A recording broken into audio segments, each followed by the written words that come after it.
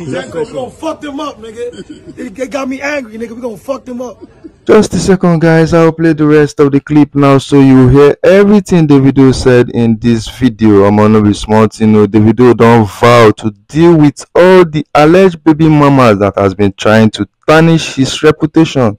Like we all know, since this alleged Davido scandal issue started, Davido has not come out to say even a word. But right now, he came out in this video to say that he is going to deal with them. And we all trust Davido now. He's an action man, a man of his word. But guys, to me, I think Davido should let this matter lie low because promising to deal with them right now. If anything happens to them, guys, we know the matter is a very delicate one and it's not going to be like this anymore. To me, I think you should just let this matter slide by.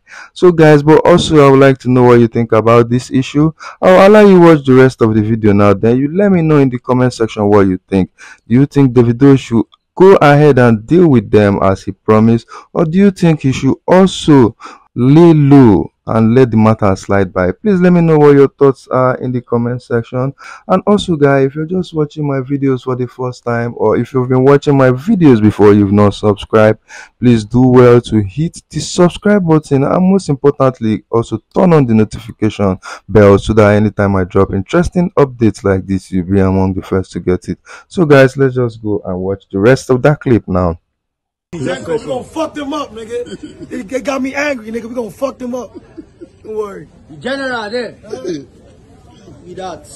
Exactly. We gonna fuck them up, nigga. It, it got me angry, nigga. We gonna fuck them up. Don't worry. General there. Eh?